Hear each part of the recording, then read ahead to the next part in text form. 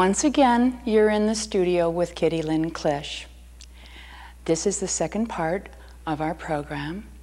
As I said before, the geese are flying over, the leaves are turning, and fall is definitely in the air. I'm painting an oil painting, a fall scene, just for you. And so without further ado, let's just get right to it. During our last segment of the program, I had sketched in and I had talked about my tools and everything. And, and uh, so now we'll just get right to the painting part. But this is where we left off. The, the painting was secured with acrylic after it had been sketched on with the charcoal. Now I'm just going to take a simple paper towel, wipe off the charcoal, and pretty much what we have left is the drawing, such as it is. And you're probably thinking to yourself, oh dear, how's she going to make something look like anything out of that? Well, every time you start a painting, you know, it's a 50 50 chance mess or a masterpiece. So hang in there. We'll see what happens. Okay, now I always start with the sky um, because I like to I like to work from the back forward on a painting. Uh, that's very important to me. In order, I feel that in order for something to look three-dimensional, that you have to approach it in a three-dimensional manner. So therefore, if you start at the back, working forward, layering each thing on top of the one before it, then you're going to have this feeling of distance. Okay? So now, first of all, we're going to mix up some sky color. And as I had said before, I am doing the sky in the photograph, the upper left-hand photograph. It's kind of a violet at the top, and then I see a rather a cerulean blue, and a, an ultramarine blue in the sky in the sky part. So I will take the cerulean blue and I need to gray it. Now what you'll find, first of all, let me show you my, my, my color wheel and how I determine the colors.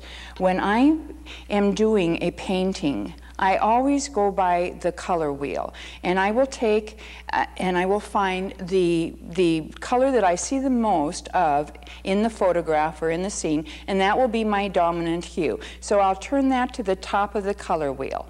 And then the very, the very bottom of that, what's directly across, that is the complement.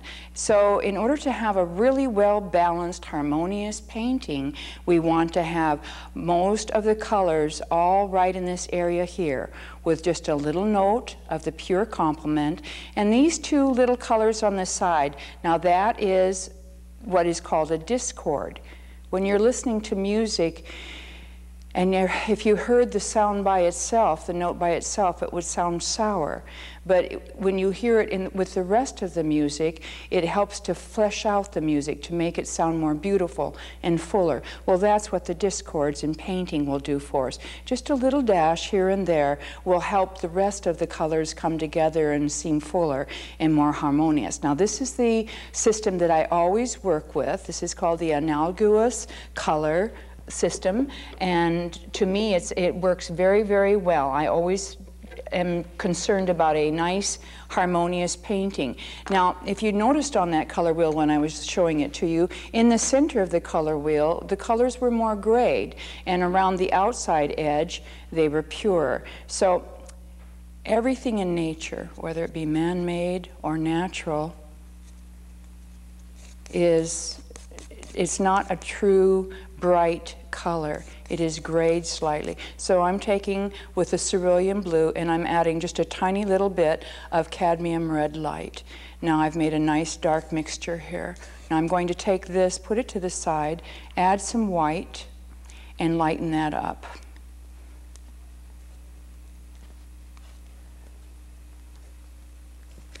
Get my thumb in here where it belongs.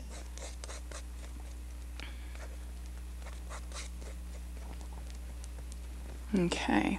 Now this is a nice this is a nice color for right down below the red in the trees and right behind the white of the of the clouds. But as it goes up, it becomes a little bit bluer. So I'm going to take a little bit of the ultramarine blue and put in there and make that just a little truer blue as it goes to the top. Now you see I'm mixing all these colors. It's important to mix the colors on the palette. Don't, don't be mixing on your canvas because then you have a, the chance to, to overmix and that's not really good.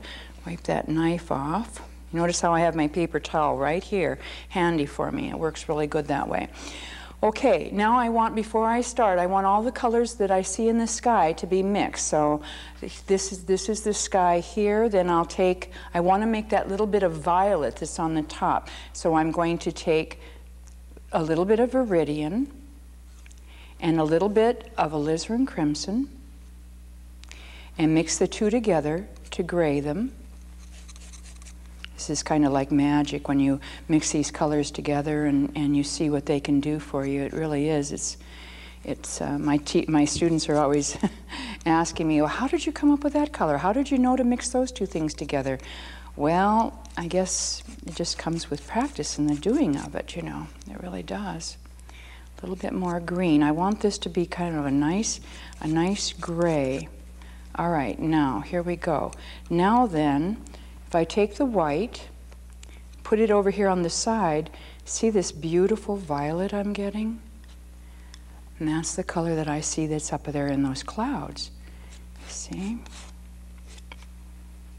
I love color. I love the way, I love the consistency of the paint. It's like whipped cream. Okay, now then, the only thing I have left are the whites and the clouds. Now the, the clouds are pretty, you know, they're, they have some gray tones to them. Everything has values. It has light values and dark values.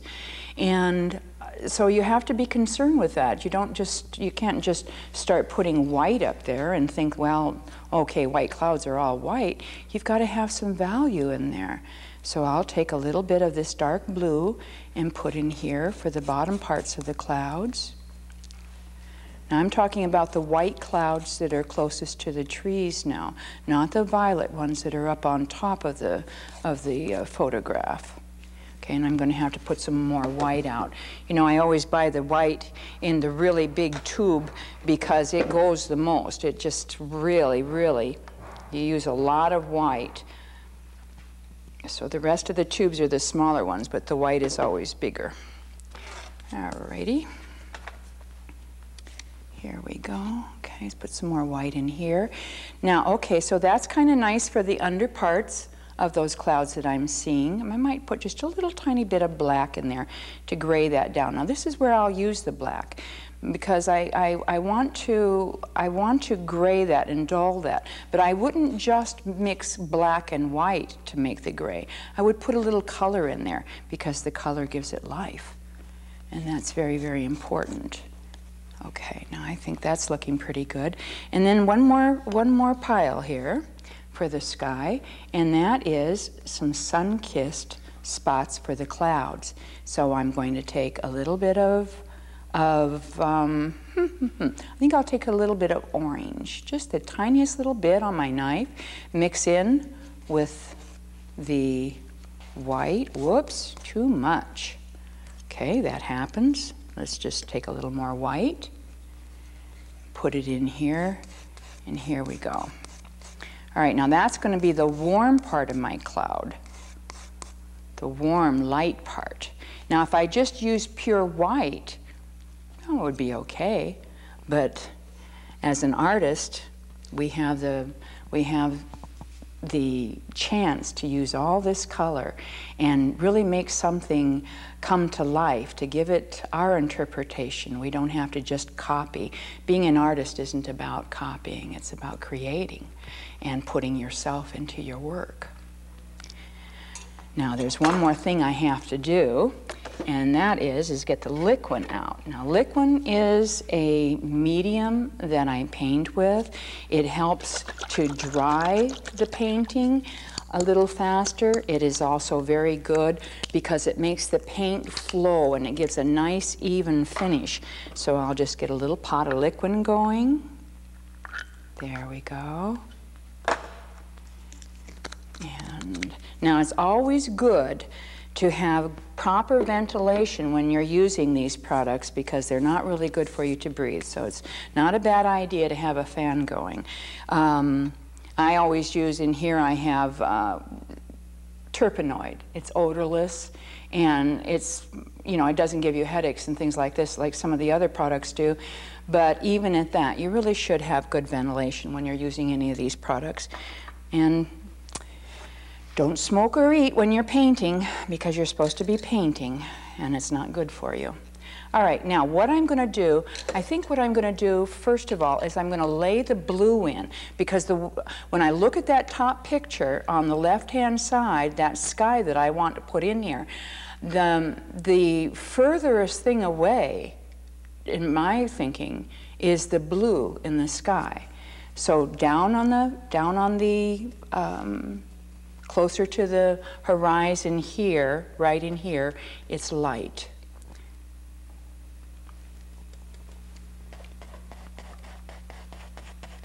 This is rather light right in there. Now remember I've got that C for the clouds, okay? And down here's the T for the for the trees. Otherwise I would get so confused, it's crazy. There we go. And then this is coming down right here. Okay, now as this goes up, it's going to get a little bit darker. So now here's the opportunity to take some of the ultramarine blue mixture and start coming in with that. And we go right on back here. Yes, I'm going right on over this tree. I have to do that because I have to paint through. The sky is behind that tree.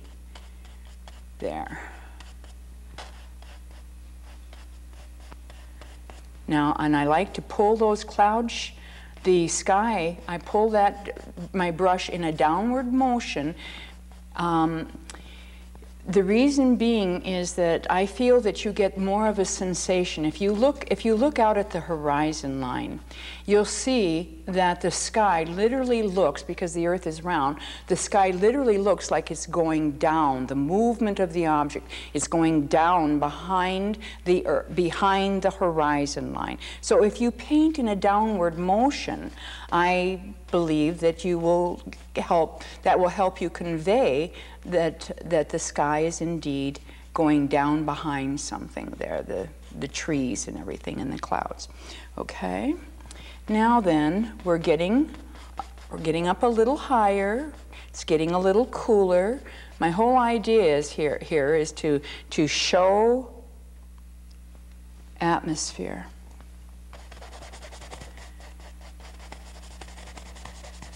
Now, I know I'm going right through my tree here, but that's okay because the lines still kind of show up for me. So that's not really a big problem.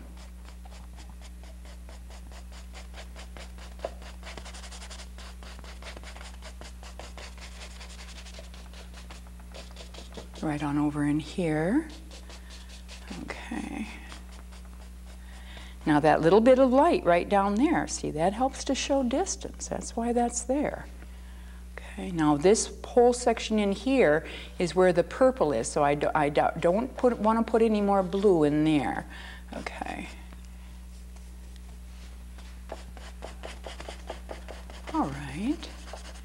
Now maybe the, the atmosphere lays in layers, so I must be very careful that I put the layers in there, that I don't make it go up and down with my lights and darks, that it's all softened all the way across there, okay?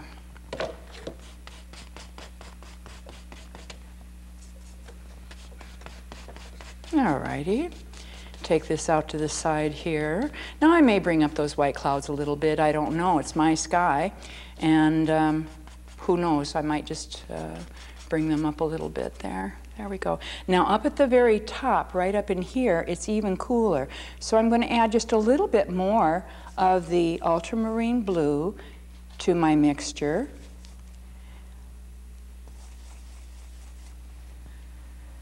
Little tiny bit of my medium. All right now.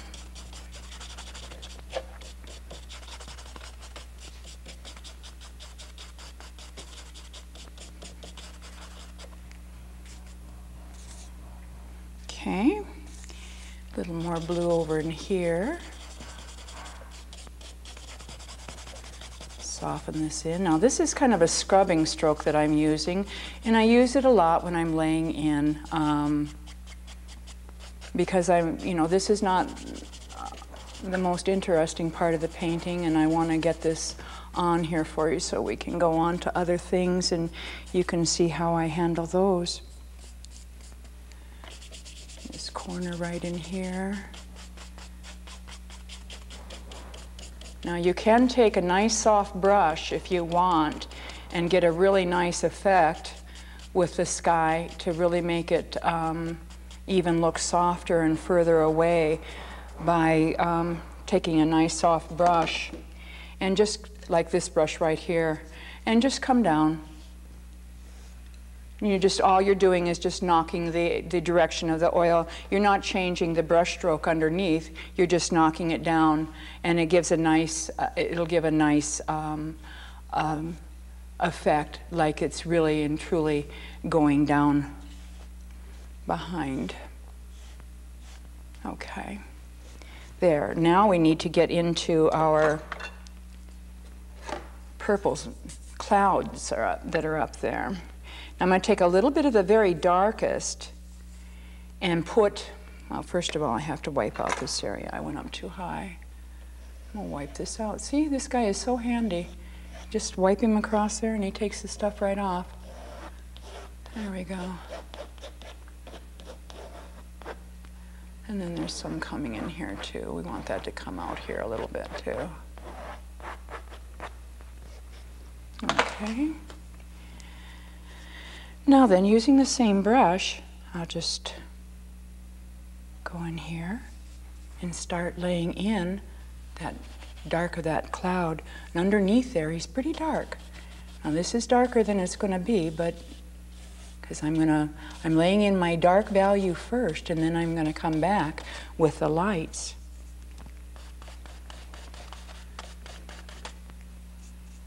I love the way the sound of the brush, the way that sounds when it hits the, the canvas. I love that.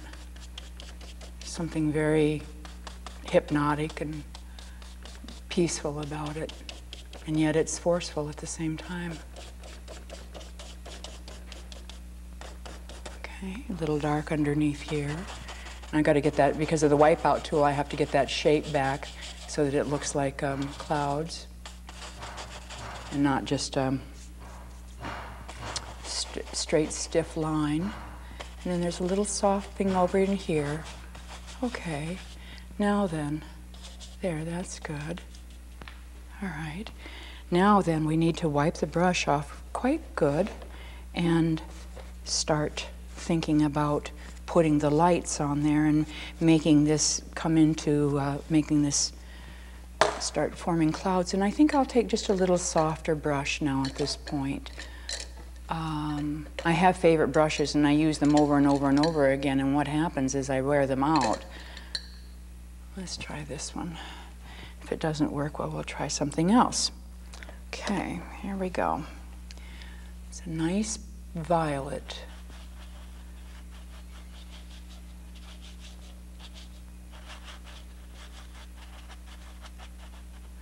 Now, possibly I'm making this look a little too ominous.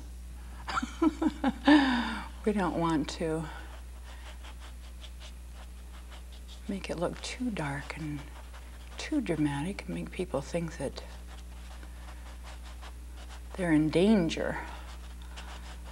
I like to tell myself stories when I paint, make up stories about the place, what happens, what happened there and how the people might feel about it and who lived in this or who owned this little barn and what, what did the house look like. You know, the house is no longer there, but what did the house look like? And who lived there and how long did they live there? What happened in their lives? I amuse myself with telling little stories like that as I'm painting. It passes the time. It also makes the painting much more personal to me.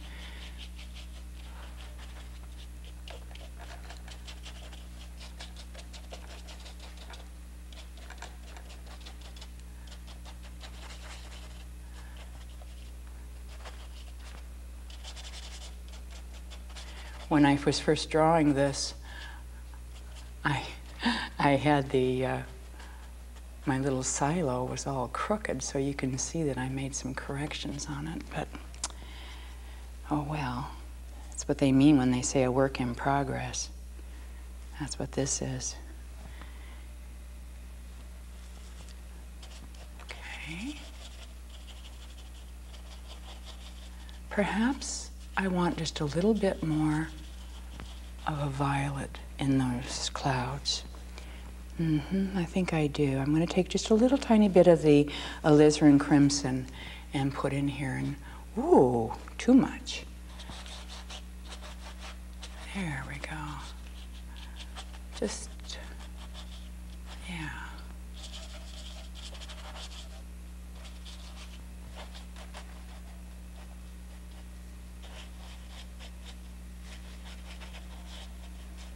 Try to get those underneath parts to look like they're Okay, now that might need some white on it, a little bit of light, and we'll just put just a little bit, perhaps right in here, and lighten that area up. And a little bit right in here.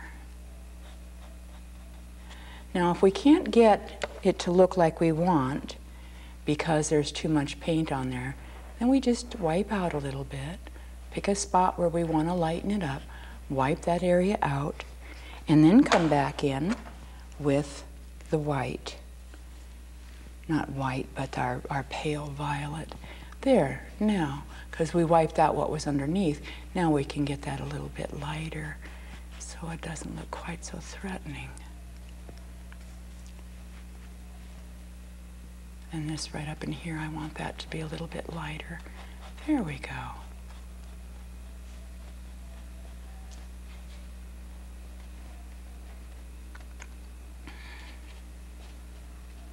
Okay, now then, I think we'll leave those alone and start with the clouds that are down on the bottom, those white ones.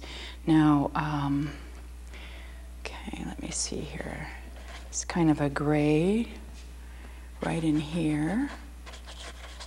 Now these clouds are going to be quite light to cover up my C. quite light on the bottoms there, I mean on the tops. So we're going to make this be, oh, and this needs to come over here too. Let me see here. I think we need some violet in this area. Okay, and then that's kind of coming down right into that. All right.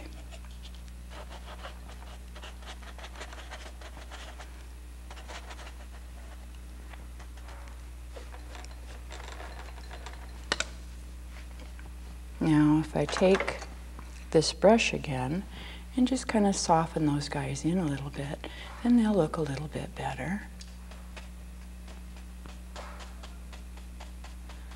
Kind of mess them up a little bit. Put them on and mess them up. And then that helps to soften them in. Because they're not supposed to look like they're going to come out and get you. They're just supposed to be nice and soft and and gentle and just, just be there. Just have a presence in the painting. Okay, now then we want to go into the white, into the nice lights. And I think we'll use this, go right into this, and we're going to start right in here. And we're just, now you notice I just do this in kind of like a little um, forward circular motion there and just Soften it all in. Whoops. We're losing things here, but that's okay because we're busy and we don't really care. We're totally immersed in our painting, in our process. Um, this is gonna, yeah, I like the way that looks. That looks good. I like that. Nice and soft and billowy.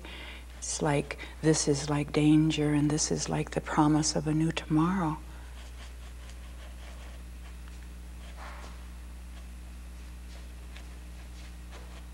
Okay, and then we've got a little bit right back in here and